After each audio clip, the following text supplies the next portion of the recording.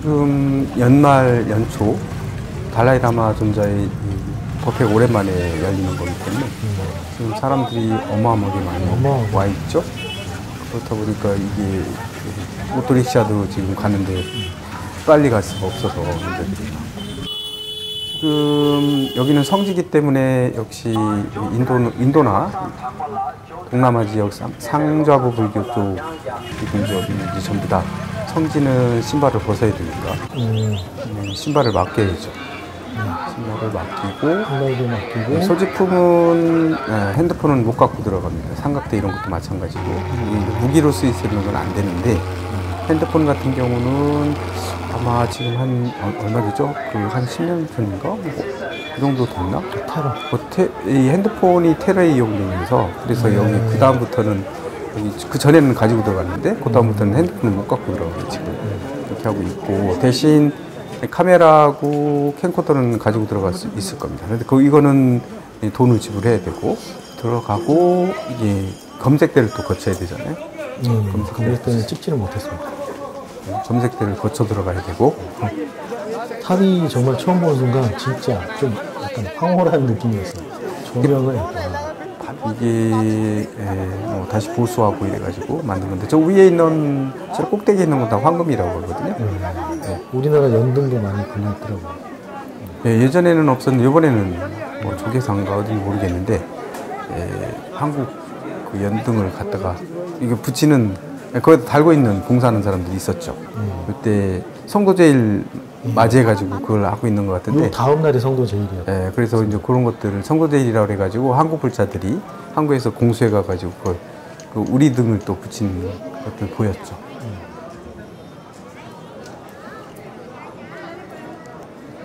근데 평상 여기 이제 이그 대탑 안에 있는 불상이고 여기가 법당인데 쪽 어, 예, 평소에는 이렇게 사람이 많지 않은데 이번에는 이제 달라이 라마 존자의 법회와 겹쳤기 때문에 사람이 너무 많아가지고 너무 많았어요. 어, 이게 걸어다니는 것도 힘들 정도로 사람이. 문자 그대로 밟혔어요. 밟혀. 저는 한번 밟을, 밟을 뻔했어요.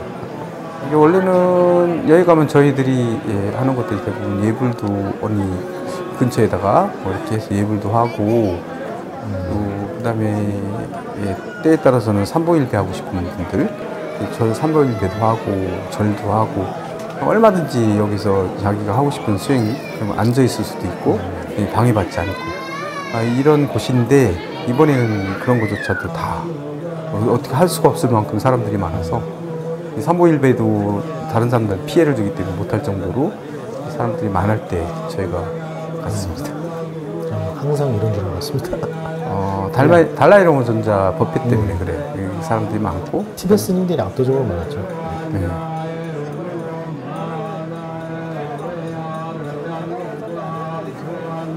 이 마보디탑은 어, 마보디탑은 부처님이 이제 성도한 보리수나무 그 뒤편에다가 지금 그 탑을 만든 거잖아요. 그래서 이 지역은 사실은 불교계의 입장에서 봤을 때는 여기가 세계의 중심이다 이렇게 얘기하거든요. 여기서부터 깨달음을 통해 가지고 이 부처님 가르침들이 세계로 퍼져나가고 있기 때문에 여기를 중심이다 이렇게 얘기를 하고 부처님 전기를 쓰신 분들은 이 전기 속에서 나오는 얘기들은 어, 석가모니 부처님만 여기서 깨달으신 게 아니고 그 전에 가사파 뭐 부처님이라든가 전생 부처님들 다 여기서 깨달았다 뭐 이렇게까지 얘기를 해서 여기 신성한 곳이다 그렇게 얘기를 하거든요. 그리고 부처님이 이 세상에 오실 때 이미 한쪽에서 뭐라고 얘기했냐면 부처님은 이미 부처가 될 걸 다 예, 아, 뭐 예정돼 있이 오셨다. 하지만 인간으로서의 모습대로 살아가시고 이 살아가시는 동안 자기가 부처 인증은 인간하고 똑같은 생활을 했지만 사실은 다 이미 이 부처로 예정돼서 온 거로 얘기를 하죠. 왜냐면 뭐 도서천에서 내렸다 이런 얘기 하잖아요. 도서천에 내려오셨다는 얘기는 이미 성도하기 위해서 내려오신 거거든요. 제도 하기 위해서.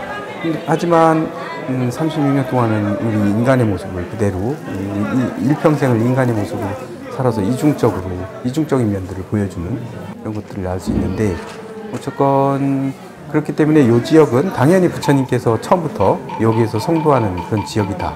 뭐 그렇게 얘기를 하고 그런 식으로 이제 또 전기가 쓰여지는 경우도 많죠. 그래서 지금 그 부처님 이 부처님은 보면 또 아침 저녁으로 그 가사를 다 매일매일 가사를 바꿔드리더라고요.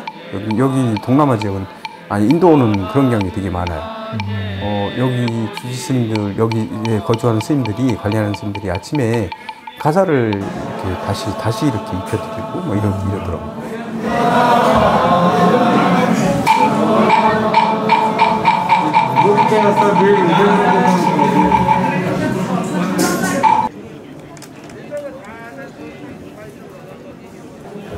여기가 이제 보리수 나무 바로 밑이잖아요. 보리수.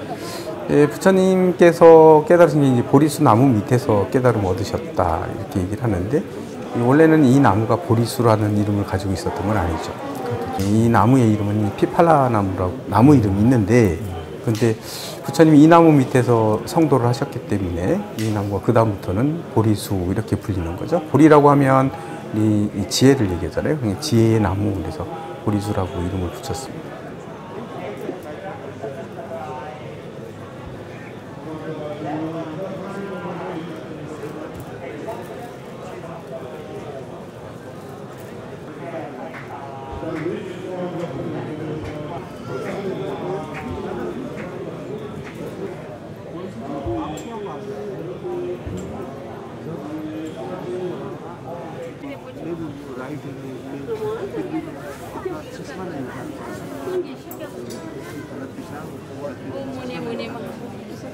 우리가 이 세상에 태어나서 온 지구 구석구석을 돌아다니고 그렇게 했지만 이 순간 어디 와 있습니까?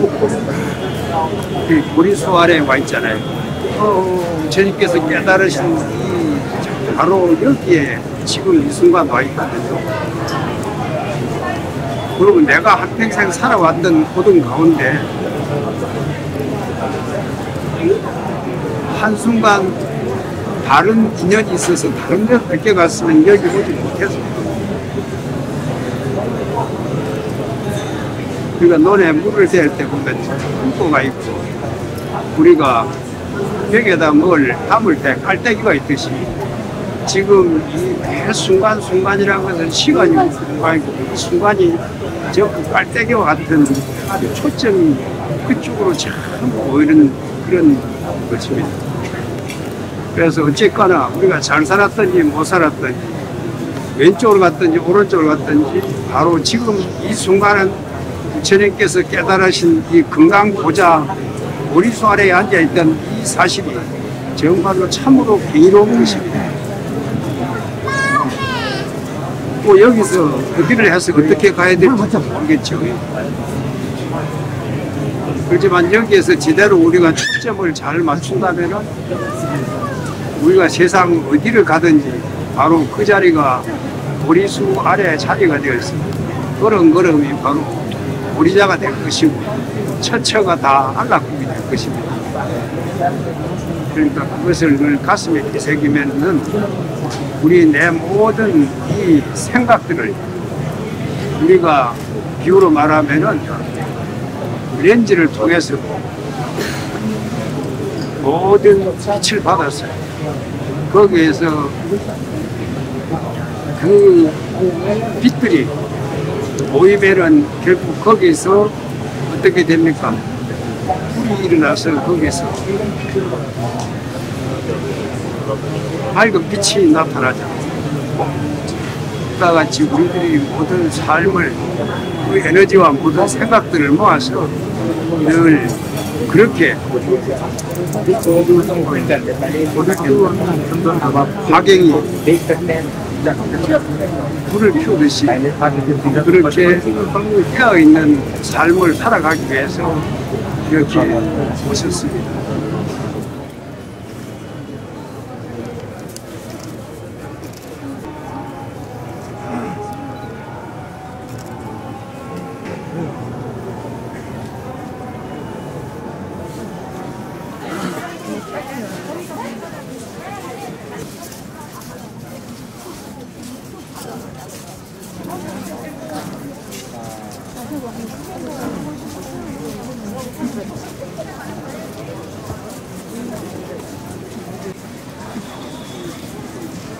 있어. 잡았는 건 맞고.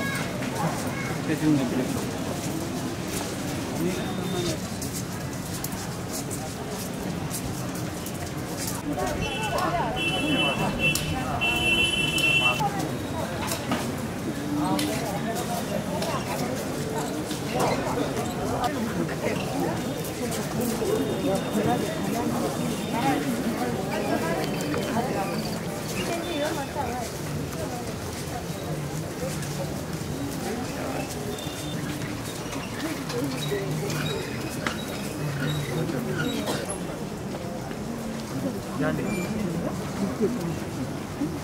부처님께서 여기 성도를 얻으신 이후에 7, 7일 동안 그러니까 49일 동안 이게 선정에 있으셨다고 얘기를 하거든요. 선정에 드셔가지고 했던. 예. 처음 일주일간은 바로 보리수나무 밑에서 앉으셔가지고 장신이 깨달은 것을 되돌려보고 예, 그 12연기를 뭐 이렇게 되돌리고 되돌리고 이렇게 관하고 이러셨다고 얘기하고. 반자심이 할때 뭐라 그래 요? 무중무생 무상행시 무 아니면 무색생 무관계 내지 무의식 때 무무명 영무무명지 12역이란 것도 거기도 없는 것이다 거짓말도 없는 것이다 말이 실제 그 자리에 하지만 그렇게 그래도 오신 거다 이거예요 번째는 보리수나무 옆쪽으로 해가지고 돌면 그쪽에 보면 연꽃들이 막 이렇게 이렇게 모습이 그려져 있는 게 있거든요. 아, 연꽃 문양의 바닥에 이렇게 예, 그 뭐라고 해야 되나요? 그 진건다리처럼 쭉 있는 것도 봤는데 거기다 막이 꽃도 올려놓고 있는데 그게 바로 이제 부처님이 이 두 번째 주는 이제 경행을 하셨거든요. 이 경행 경행을 하실 때 그 다리 에 발을 내디딜 때마다 이렇게 연꽃들이 바닥에서 내려와가지고 연꽃 그, 그 자리를 연꽃으로 이렇게 만들어 놨다고 하고 그다음에 또 일주일간은 그래서 여기 보면 칠산정수가 있어요. 여기 뒤에 이제 구룡지 이제 뒤쪽에 이제 연못이 있는데 이것도 5주째였던 거예요. 5주째 선정에 들었을 때 막 비가 오고 이럴 때 저기 코브라거든요. 뒤에 용이라고도 코브라다고 하는데 나와가지고 부처님을 보호해 주셨다는 얘기를 하죠. 그래서 보면 저 중앙에 있는 것들이 부처님 가운데 앉아 계시고 코브라가 딱 이렇게 날개를 펴가지고 비를 이렇게 다 위에서 막아주는 거거든요. 이- 이게 선- 선정에 들었던 일주일 동안 이 연못에서 선정을 드셨는데 그때 이제 비 오고 이럴 때 바람이나 이런 걸저 코브라가 막아줬다, 뭐 용이 막아줬다 이렇게 얘기했는데 음, 용은 이제 실제하는 음, 동물이 아니니까 저렇게 코브라 모습으로 해서 저렇게 예, 조성을 해놨더라고요.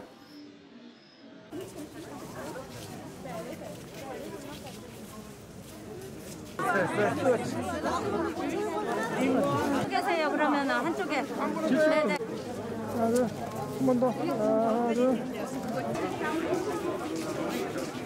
나가거나 아까 벗은데